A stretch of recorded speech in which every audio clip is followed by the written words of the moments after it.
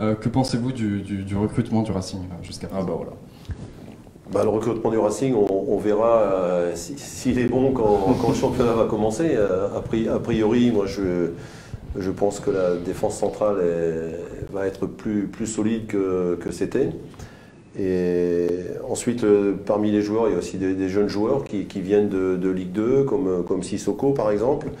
Et, je crois qu'il y a des confirmations comme euh, Dimitri Liénard qui est, surprenant. Euh, son évolution est surprenante à, ce niveau-là. À Jorque, euh, je pense que sur ce que j'ai vu contre Reims, ça me paraît être un, très bon renfort. Maintenant, maintenant c'est insuffisant à mon avis parce qu'il faut voir si Abdallah Ndour va retrouver tous ses moyens. Moi, je suis persuadé, je lui avais dit en partant qu'un jour, il jouera en Ligue 1 parce qu'il a les qualités pour.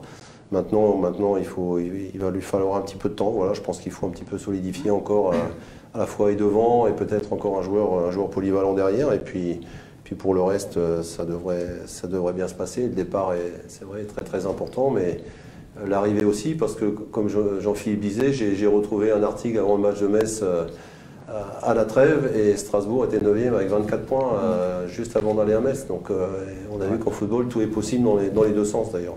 Effectivement.